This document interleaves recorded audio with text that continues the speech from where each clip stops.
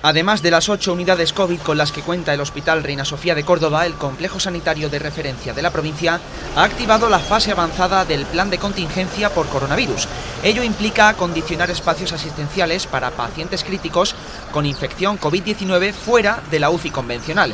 Esta medida consiste básicamente en habilitar módulos UCI en los quirófanos del Hospital General para pacientes COVID que requieren de cuidados críticos cuya función es dar soporte médico y de enfermería enfrentamos al máximo número de pacientes ingresados por infección COVID similar al pico máximo de la segunda oleada. La cirugía por ello mantiene en la actualidad un 85% de la programación, sin verse afectada la cirugía preferente, oncológica, cardíaca y urgente, mientras que la actividad en consultas manteniendo la no presencialidad y las pruebas diagnósticas se desarrolla con normalidad.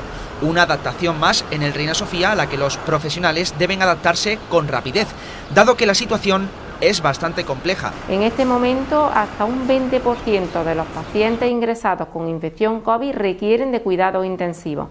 Este es el porcentaje mayor que hemos tenido en toda la pandemia y es un porcentaje similar al que están teniendo el resto de los centros sanitarios. Cada módulo UCI tiene seis puestos y una zona intermedia que suma 12 puestos más de cuidados críticos para pacientes COVID.